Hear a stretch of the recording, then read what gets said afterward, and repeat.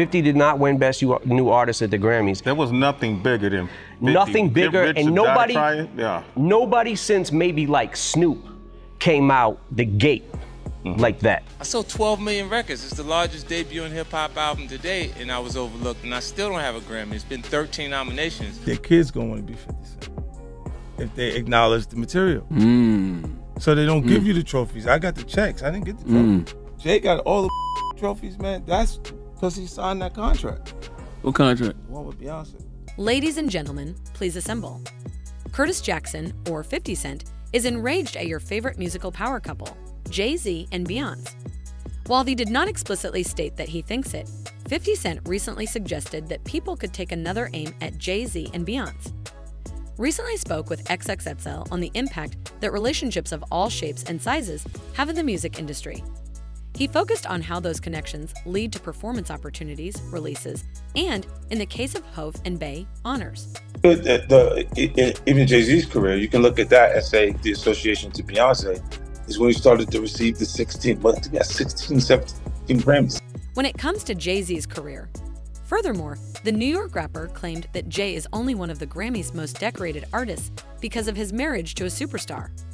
Of course, Fiff and the Roc Nation boss haven't always gotten along, so this is tinged with bias. In response to the music industry's biases, the 48 year old rapper turned film producer stated the same concept with the Super Bowl. The Super Bowl.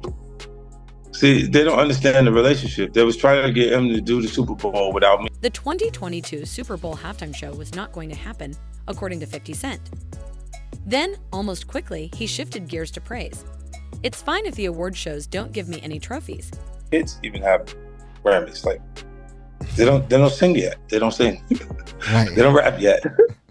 and they already have Grammys. Jay-Z and Beyonce's children already have Grammys.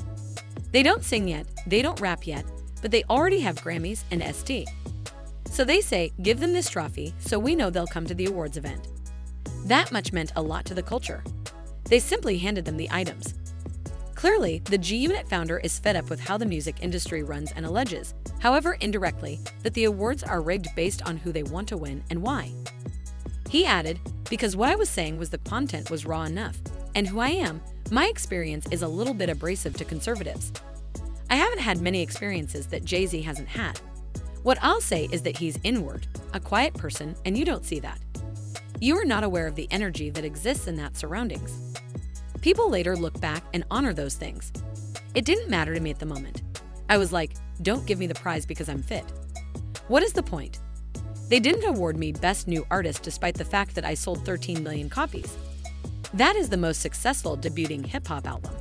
They don't want their children to be like 50 Cent. For almost two decades, hostility has simmered between the two rap icons, from their early 2000s battle for hip hop supremacy to their competitive temperament in the corporate world. The partnership of 50 and Hove had a difficult start. On his controversial 1999 song, How to Rob, a then rising Fiff spoke about standing up to his rap contemporaries, including Jay Z, what? Jigga only sold 4 milli. He has a reason to live slash doesn't want to end up putting the 4 through the Bentley coupe door. He spat. During his performance at Hot 97 Summer Jam that year, the Roc-A-Fella co founder retaliated by debuting It's Hot, on which he rapped. Go against Judy Yo ass is dense slash. I'm about a buck, and the F is 50 cents. Years later, in an interview with Angie Martinez, Jay Z claimed that he had spoken to 50 people backstage at the festival, and it was all positive. Hove's answer even helped 50 advance his growing career. In 2003, he told Rolling Stone, When I responded, I was complimented. He wouldn't say anything to someone he didn't believe was attractive. I never turned on the radio again until he said that about me. I'm not sure where my career would be if he hadn't responded. By 2003, the competition between 50 Cent and Jay Z had evolved from unquestioned champion of his up and coming challenger to what felt more like two equals. After his smash hit Da Club and blockbuster debut album, Get Rich or Die Tryin', the Queen's New York native catapulted to global popularity. Go, go, go, go, go. Jigga put his whole Roc-A-Fella roster on notice with the Dr. Dre produced ballad, which topped the Billboard 200 and has since been certified nine times platinum. Man, I'm telling you, man, y'all better, y'all better, y'all got a chance right now. Just flood it, put out a lot of music. Everyone was in the studio, and I told them, man, you got a chance right now. Just flood it with music because 50 Cent is on his way. In a 2013 interview with The Breakfast Club, Jay recalled, It was about four months later when In Da Club came out. It was as if everyone had to sit on the sidelines and wait for the tidal wave to pass. Jay Z, ever the strategist, appears to have decided to keep his adversaries closer by touring with 50 Cent on the Rock the Mic Tour in 2003. To promote their individual shoe partnerships with the sports giant, the pair even freestyled together in a Reebok ad. I told y'all I was finna blow like C4, stunting the G5, flying the G4, G-Unit footwear, G apparel. I'm so hood, that blue and that white looks so good. Despite the fact that they were wearing the same brand, 50 later boasted about his G Unit Reebok shoes outselling Jay's S. Carter boots 6 to 1. Hov also opted out of their combined tour's extended run, which coincided with his retirement plans at the time.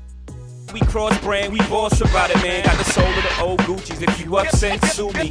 If not, sit back and watch me do. The pair's only other musical collaboration came 40 years later when Jay Z and Diddy collaborated on a remix of 50 Cent's 2007 single, I Get Money. But the gunfire continued to ring out as Hov reminded 50 that the Big Apple was still his. Despite the fact that both men have turned away from music over the years, with 50 remaking himself as a TV tycoon and Jay becoming a multi billionaire who occasionally still blesses the mic. Insults between the New York Titans have lingered. Fiff made a shot at Hov in an interview with DJ Envy after Lil Mama ruined his and Alicia Keys' performance at the 2009 MTV VMAs, suggesting it was because he's no longer imposing.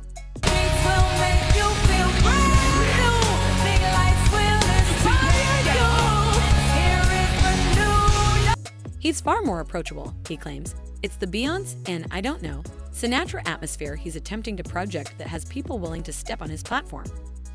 The podcast also includes 50's most recent comments about Jay, including his harsh appraisal of his 2017 album 444. I thought the SD was 8, but I'll keep it a secret for now. The SD was far too astute.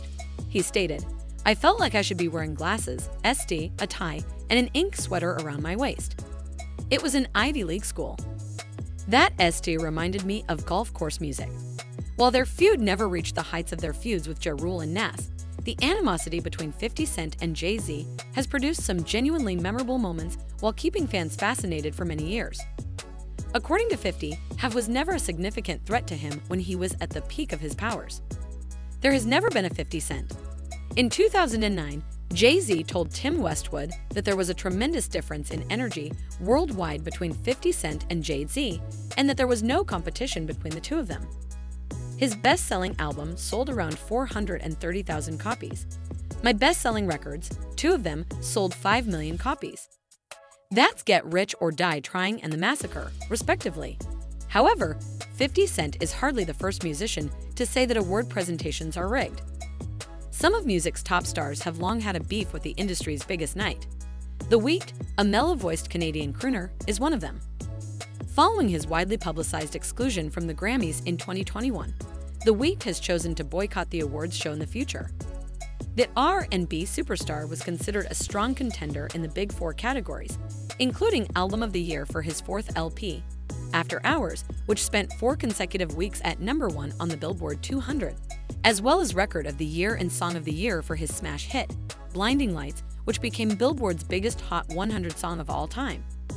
However, when the 2021 Grammy Award nominations were announced on November 24, 2020, the Grammys remained crooked. You owe it to me, my followers, and the industry to be transparent. In his second Twitter message, he stated that he went from arranging a Grammys performance to being denied, and that he had been cooperatively planning a performance for weeks before being denied. In my perspective, if there are no nominations, you are not invited. Has refrained from tweeting. As an artist, when I see the Grammys approaching and I'm not involved or invited, I wonder if it's me, my music, or just another technicality. I gaze around with admiration and curiosity. Is it true that I am unworthy? Then I glance around and notice five Grammys staring back at me, so I head to the studio. Even Nicki Minaj, arguably the best female rapper of all time, has complained about award bias. In 2020, the New York native took to Twitter, writing, Never forget the Grammys didn't give me my Best New Artist award when I had seven songs simultaneously charting on Billboard and a bigger first week than any female rapper in the last decade, and went on to inspire a generation. They gave it to Bon Iver, a white dude. So evidently, 50 is correct. These award events are allegedly manipulated in favor of celebrities such as Jay Z and Beyonce. One fan responded to 50 Cent's claim by tweeting, He's right, the Grammys are nothing more than a rigged popularity contest, like all Hollywood award shows. According to another fan, I stopped caring about the Grammys because they're genuinely so rigged that it doesn't matter anymore. To be honest, I hope the Grammys break apart. That's all there is to it. Do you think award shows are rigged to favor specific performers? Mention your thoughts in the comment section below. If you liked this video, then share it to your friends and family members. Also, if you are a new viewer on our channel, then unsus subscribe our channel for more celebrity news and gossips. Thanks for watching our video. That's all for today. Goodbye.